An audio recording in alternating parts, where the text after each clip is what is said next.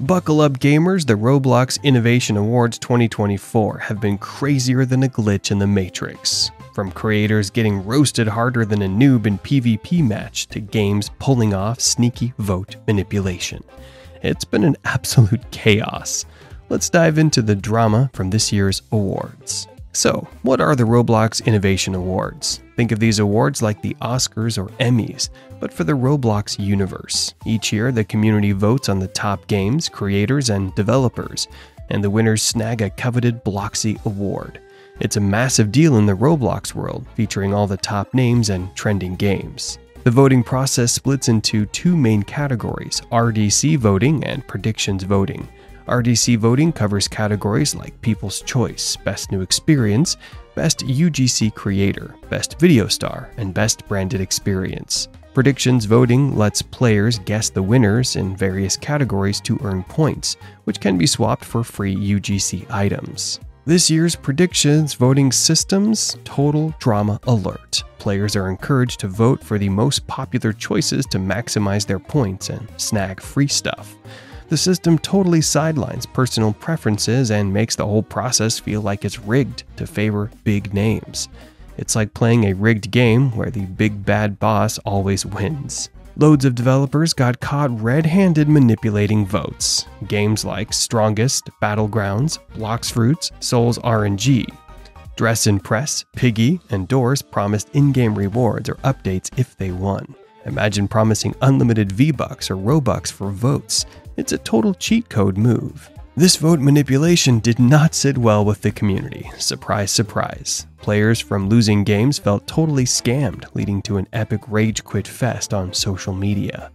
Winning developers even got hate and death threats. It was like a bad Call of Duty lobby out there, with players throwing shade left and right. Strongest Battlegrounds and Blox Fruits were the worst offenders. They promised faster updates and exclusive in game titles if they won. Sol's RNG and Dress to Impress also dangled shiny rewards to sway the votes. Naturally, the games with the biggest player bases ended up winning, regardless of their actual quality. It's like the popular kid always winning prom king, even if he's a total jerk. Winning developers like Moonib, who created Catalog Avatar Creator, faced major backlash. Even though Moonib won Best Fashion, fans of Dress to Impress were furious, feeling cheated out of promised updates. It's like getting teabagged after a tough loss. It stings. Another mess was games being nominated in the wrong categories. For example, Dusty Trip and Strongest Battlegrounds are nominated for Best Strategy Game, despite not being strategy games.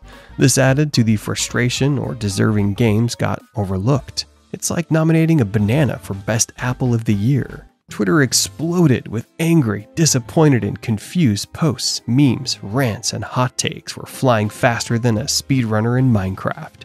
Everyone's calling for changes to the voting system to make it fairer and more fun. The rigged process has long term fallout. It undermines the award's credibility and the value of winning a Bloxy.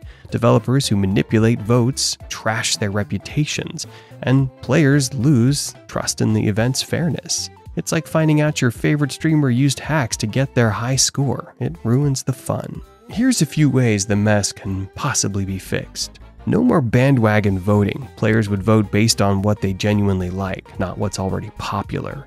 It's like going in blindfolded and picking your favorite candy by taste alone.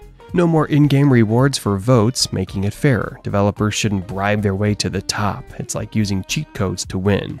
Properly vet games for the right categories to avoid confusion.